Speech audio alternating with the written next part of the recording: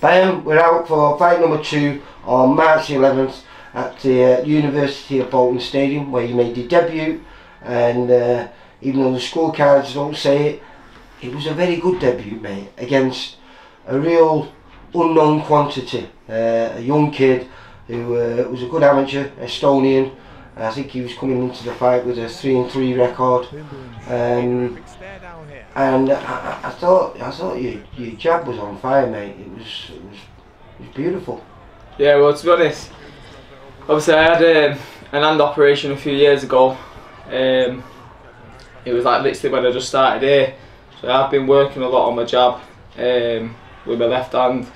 I think you could definitely see that in the fight.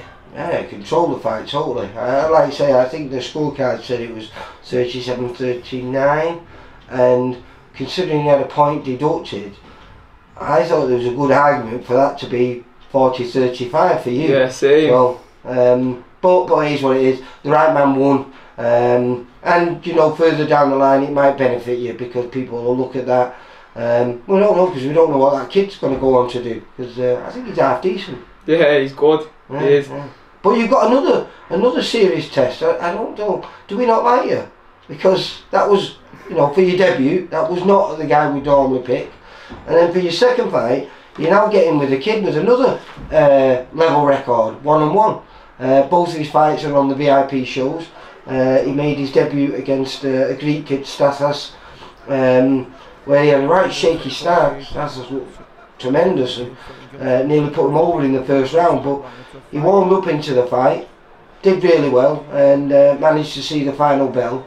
Um, and then we brought him back. We fought, he fought uh, a kid who I rate really highly, a kid called Thorn Wright, um, and he only went and beat him. You know.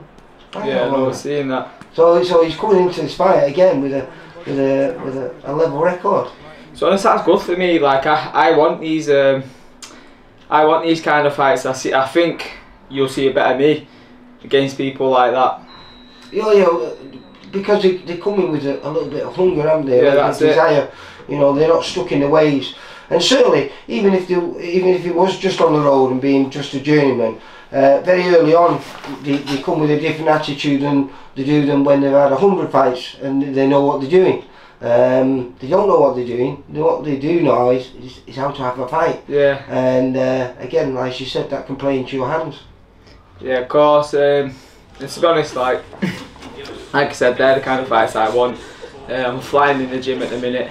Been getting Well, good. go on. I've been watching you today, and you obviously most of the hard work's been done, um, but you're just keeping everything nice and sharp. And Yeah, this is the last hard week now. Mhm. Um, and then Monday next week. have you got any more spars lined up then before then? Um, sparring on Friday. Who you sparring? Connor Ward. All right, good kid from Moston Colliers. Yeah, yeah. Only small, but uh, powerfully built. yeah, he is. So I'm sparring Friday. Uh, that'll be my last six rounds. And then yeah, like I say, next week it's just pad work, keeping on top of the weight. That was a, a bit of a tough one there. You had uh, both Blaine and Ricky in there. Uh, Blaine yeah. uh, with a body belt on, and uh, Ricky with the pads. Been like that for the last eight weeks. Yeah. Horrible, aren't they? They are, they are. It's, it's, uh, even easy sessions are hard sessions here. Yeah, that's it. But to be honest, like, because there's quite, because there's quite a big team here, there's always someone who's got a fight coming up. Like, Today's been busy, hasn't Oh, it? yeah. Everyone's been in today, and everyone is is, is busy uh, in March. Are we in March yet? No, we're still yeah, in February. yeah, everyone, uh, there's me and Jack in March, uh, Chloe's in March, and then Brett's the week after. He's in April. Um, so yeah, the gym, the gym's nice and busy, but I prefer it like that anyway because everyone's pushing each other on. And how do you feel now after you you making your debut? Do you feel a different fighter? Because they always say you do. Yeah, um, yeah, definitely. Um, Blaine and Ricky, they've been doing some good work with me. Um, yeah, I do feel a different fighter. And to be honest, I feel like I'm more suited to, to the professional game Mhm. than I was the amateur game. Um, but I think that's I've said to you before. I've I've been in, been in and around a lot of pro gyms since being young. Yeah, because Um, didn't you do a lot of work early on when you was um, Lee Beard? Yeah, with Lee Beard and Yeah. Adrian Gonzalez. Yeah. Um, so I've been around them in other gyms. Are you slowly? What are you, 24? 24, yeah. 24, so still a baby. Getting on Um, at but but if we keep matching you the way we're matching you, these are like I say, they're not easy fights. These are you don't know what you're getting. Um, so if if you keep doing well like you're doing, then surely sometime in 2024, if, if the results keep coming the way like you say your first performance was, um, maybe maybe you could be fast tracked into the title a little bit sooner than your stablemate in Jack because Jack's still Jack's still 21, 21 or 22. yeah, just turned 22. Yeah, so he's a couple of years younger than you, isn't he? So you could be able to be pushed maybe a little bit quicker. Yeah, and um, like you say, uh, being fast tracked, I don't think, in the right stages, I don't think it's a bad thing. I think it's a good thing for me. Yeah, well, we're, we're certainly going to find out on the uh, on the 11th because, like you said, a, a very good win last time out against uh, Thorn Wright, who I who I rate hi- hi- highly. I think he's a very good kid, but I think it was a problem was it was man against boy. Yeah. Uh, and Thorn, I think, he was only 20 years old. I think Jake Smith was naturally a little bit. I think Don's a little bit smaller than you.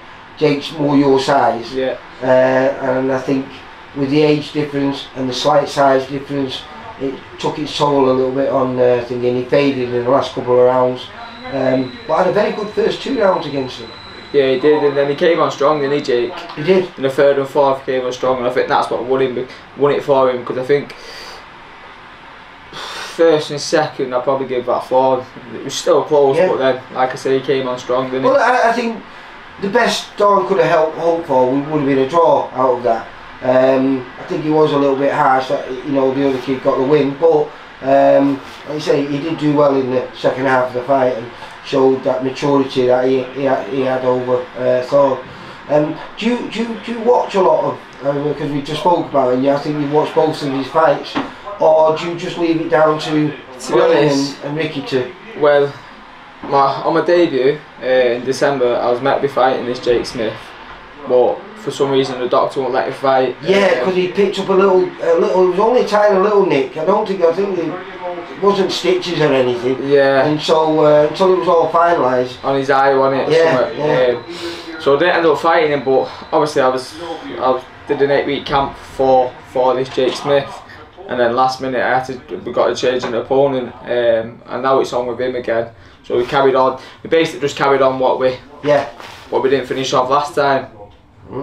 So like I say, uh, a good fight for you, um, because again you didn't know what you was going to get then, and you don't know what you're going to get now. Yeah, going back to that question, you said, do I watch a lot? Do I watch a lot of my opponent? Um, I watch, I watch a bit of it.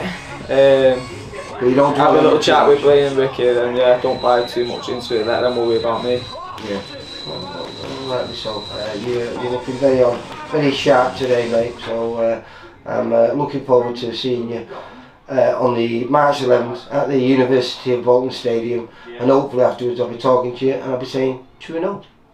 You will. Well, mate. Yeah, I'd just like to thank all my sponsors at the bottom of the screen for uh, helping me with this journey.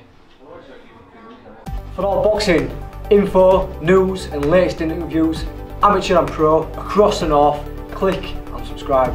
VIP Boxing Promotions. Also, Twitter, Instagram, and Facebook.